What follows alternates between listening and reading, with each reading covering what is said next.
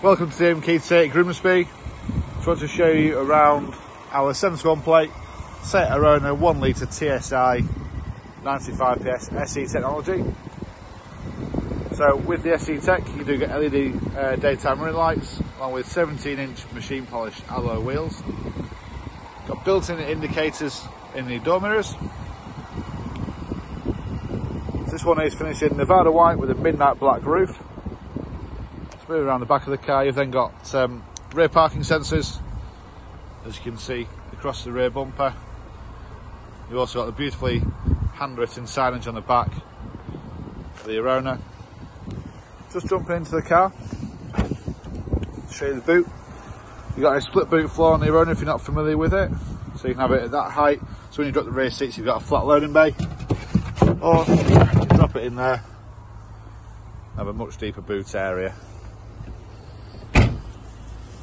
Move around to the driver's side, jumping into the cockpit. Got the cloth seating with the Arona. Got a flat bottom steering wheel.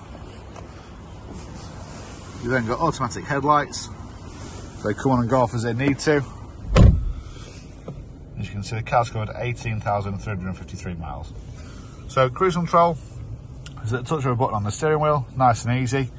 You also got um, controls for Bluetooth and the mini infotainment display in the middle just here.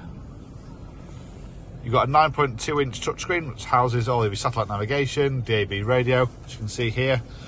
And you've also got one of the best features of the car is the Android Auto and Apple CarPlay. Now it is, it is fully wireless, um, however you can connect by USB Type-C if you wanted to. If you want to use the wireless, you've got a wireless mobile phone charger there as well.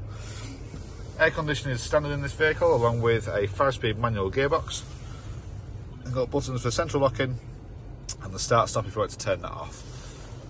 So if you want any more information on the car, if you'd like to make an inquiry, please give the team a call on 01472 494 635. Thank you.